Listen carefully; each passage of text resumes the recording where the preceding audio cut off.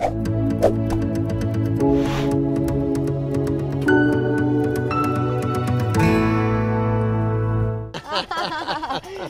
really like that. So tell me about what you prepared today. But today, you know, we have like a very full body wine, a nice wine. The Primitivo in Puglia is one of the best grapes and wine we have. So meat, but uh, uh, not meat heavy meat.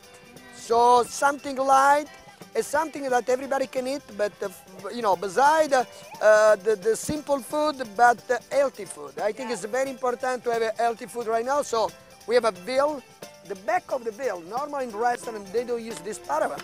So what are you doing? I cook in the oven in a very high temperature, Okay. the back, and then I get them in. And then I slide, e I make, this is a mille sfoglia di dietro dietrocoscia di vitello con verdure spontanee, funghi cardoncelli e caciocavallo. Oh, my Caciocavallo. I like that.